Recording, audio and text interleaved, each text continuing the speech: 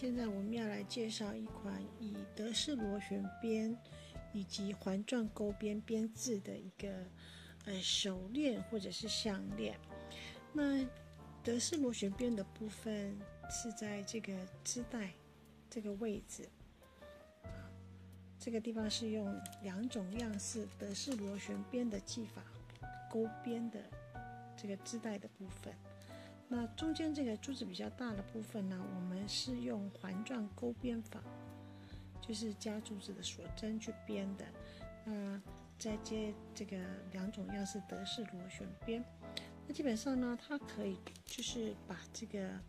哎上面那个德式螺旋边的织带织长一点点，它就可以作为项链。那如果我们作为手链，就只需要把这个部分。德式螺旋边的部分缩减，那以这个当主角作为手链佩戴啊。那我们首先要穿珠子，那穿珠子的时候呢，我们是呃以这个方向来做穿珠子的那个，就是加五颗十二零日本小珠，浅色的。再加一颗深色的十二厘，以及一颗水滴或者是元宝珠，再一颗十二厘。那这个有画一个框框起来，就表示这里是一目。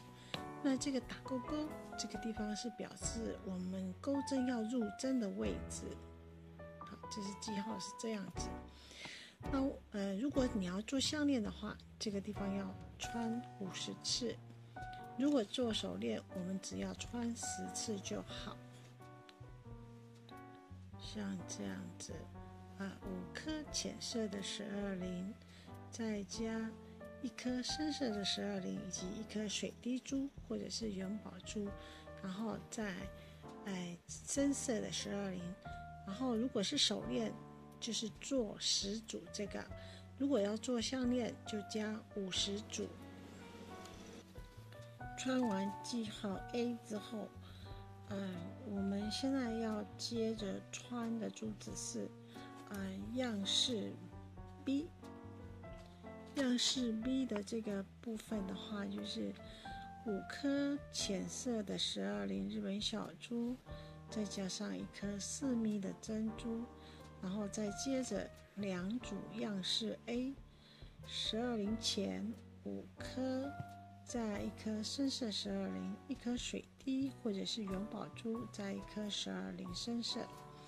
那两次 A 之后又加一一次的 B，所以我们做完了这个，哎，刚才接了穿的这个 A 样式 A 五十次，或者是手链是十次之后，就接着做这个样式 B A。A B，然后手链的话就是 B A A B 两次，项链的话就再一次 B A A B 三次，像这样子，就是穿完这个，刚才我们已经穿完这个呃 A 的部分之后，要接一组这个 B，所以是五颗十二零。一颗四米的珍珠，在一组 A，五颗十二零，一组这个水滴珠或者是元宝珠，前后各有那个深色的，然后在一组 A，所以是中间有两组 A，然后在一组 B，像这样子，B A A B。那如果是做手链，就加这样子两次；如果做项链，就加三次。那嗯，加完了这些，就是之后我们要再加一个，加穿一张这个小纸片进来做记号。因为在这这里前面这里都是两种样式德式螺旋边，可是接下来这里要穿的珠子的部分是用环状钩边，所以我们先做一个记号。那穿环状钩边的时候，我们穿珠子的方式呢，就，哎，从这边开始，所以是水滴珠或者是元宝珠，再加一颗四咪的珍珠啊，这是第一个。然后接下来就是水滴珠，再加四咪的珍珠，这样子一格一格就等于是一目。所以到时候勾到那个嗯，就是环状勾边的地方，这里水珍四咪珍珠的部分，它一目都一定有跟着一颗水滴珠或者是元宝珠。啊，这个地方是两颗两颗，那到六密的珍珠的时候，它就只有一颗。好，所以我们依序加的是，呃，我只讲珍珠的部分，因为四密的珍珠旁边都跟着一颗水滴珠或者是元宝珠，四咪四咪六咪四咪六咪四咪六咪四咪六咪六咪，所以加十次。那只要是碰到四密珍珠的部分，都是有一颗。这个水滴珠或者是元宝珠，好，十目不是十次，是十目，一第一目、第二目、第三目、第四目，这样以此类推到第十目，哈，总所以这个环状勾边的部分，这里有十目，但是不是只有这样子而已，那还要接着再再加，哎，这个八密的珍珠，八密的珍珠的部分的话，我们就是从这个浅色的先加。两颗浅色，一颗深色，再接一颗六米的珍珠。那这个部分要做三次，不管是手链还是项链，都是要穿三次的珠子啊，就是浅色八米浅，八米浅，八米深，六米啊，要重复三次，然后最后要再接两颗的八米的浅色。那做完之后呢？这个是呃穿到这里就等于是这个项链的这个部分，从哎这边编到这里来，勾到这结束之后，因为我们是对称的，所以要在反方向加珠子回去。那反方向加珠子回去的话，就是从这个样式 B 的地方反方向加回去，所以要再把那个哎这个 B A A B。重复一次，呃，前面如果是做手链是加两次，那如果做手链那一样就加两次。如果前面也是加三次的项链，那在项链回穿的这个呃回头的转转向的另外一侧的部分也是要加三次。还有样式 A 的部分也是一样啊，这个就是这个地方，哎，样式 A 的也是一样，手链的部分加十次，然后。那个项链的部分就加五十次，那我们就把所有的珠子都穿好来备用。像这样子，这个是珍珠的部分，珍珠穿完了之后，就是要再接，要做加一个那个纸纸片进来区隔，因为在这个珍珠这一段都是那个环状勾边。那接下来这个又是回到德式螺旋边，两种样式德式螺旋边，所以我们加一个小纸片区隔，这样子的话比较不会忽略掉，嗯，忘记哈。但是你如果看到日本小说，就是要做那个德式螺旋边，好，所以又是一组这个 B A A B 这个，好做两次或是三次之后，又开始就加这个 A。样式 A 好十组或者是五十组，那穿完之后呢，编的时候就会是从反方向勾回去，从我们那个，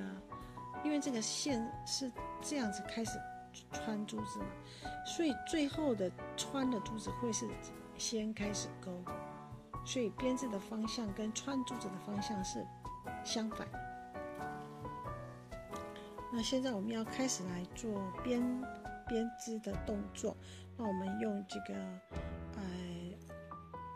诶，钩针的话，用四号或者是六号都可以。那我现在手上拿的是四号，六号会更细哈。那我们在这个起边的这个地方留二十公分就可以了。现在就是起针，就针在下，线在上，绕一个。环写一个六，勾一目，推线，勾线起一目，这是起针。那我们把第一目的珠子推过来，是会有一组这个水呃元宝珠或是水滴珠，然后以及这个有五颗的十二粒，这样子是一目。那一目全部推过来之后，一样勾一个加珠子的锁针。那这里要拉紧，稍微拉一下，再勾一个不加珠子的锁针，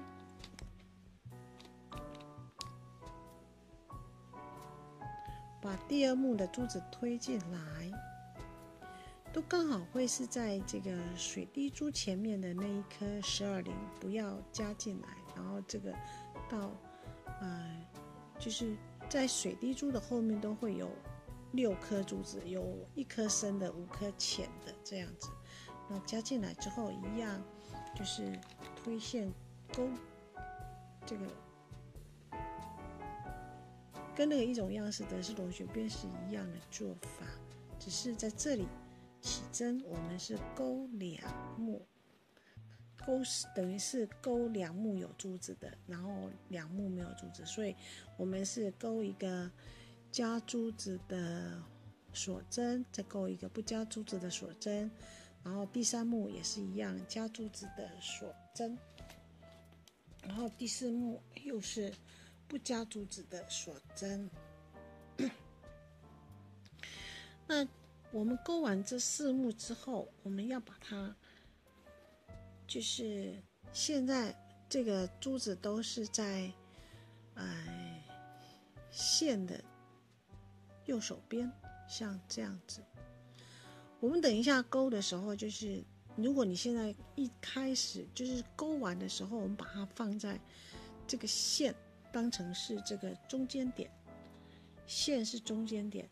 那珠子都是在线的右手边，那小珠在上，大珠在下，我们要把这个下面的这一组珠子往右往左上翻。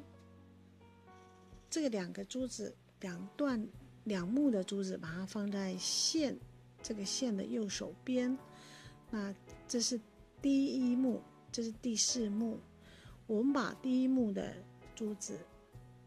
由右下，在这里右下往左上，右下往左上角翻提上来之后，由右侧入针。那日本小猪朝自己的方向。由右侧入针，那这个针钩针要放在那个深色跟浅色的日本小猪的中间，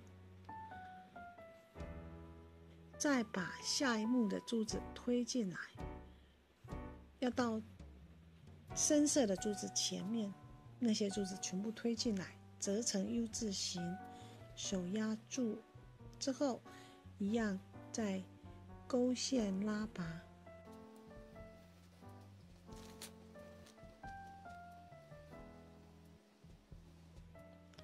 再勾一个不加珠子的锁针，然后我们要旋转这个织带。这个是在上面的，是我们刚刚完成的；那在下面的是我们刚才呃第四目。那现在这个是。呃，第五目以及第六目没有加珠子的锁针，那我们要把这个织带，再把它这个呃第四目要把它一样是往上提，那我们就会觉得我们的这一个织带是顺时针方向旋转，一样由右侧入针，那也是要在这个大珠。就是那个深色跟浅色珠子的十二连日本小珠，两个哎深色跟浅色珠子的中间入针之后，把下一目的珠子推进来，推进来之后再推线，这个要折成 U 字形，压在我们的手指底下，然后再推线勾线拉拔。这个屁股拉一下，起针的这个线稍微拉一下，你的织带就会更明显。那我们都是顺时针方向旋转，每一次都是由呃比较低的那一个，你看这起来，这右边的比较高，左边的比较低，所以我们要有比较低的那个入针。那入针之后呢，就是要在这个深色跟浅色的日本小珠的中间。然后再把这个下一目的珠子推进来，推进来之后折成 U 字形，放在手指中间，再勾线拉拔。